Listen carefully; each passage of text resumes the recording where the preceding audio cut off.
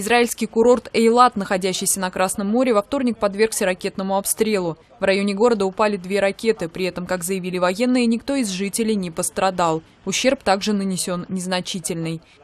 Как предполагается, ракеты были запущены с Синайского полуострова, где после свержения египетского президента Хосни Мубарка свою деятельность активизировали исламисты.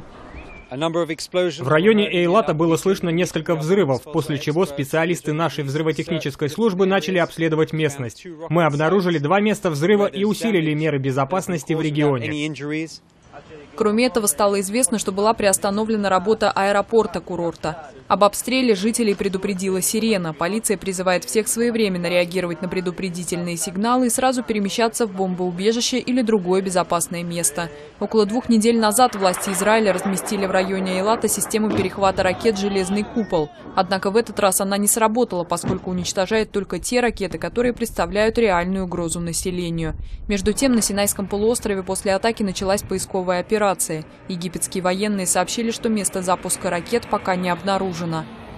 Последний раз Эйлат подвергался обстрелу в ноябре.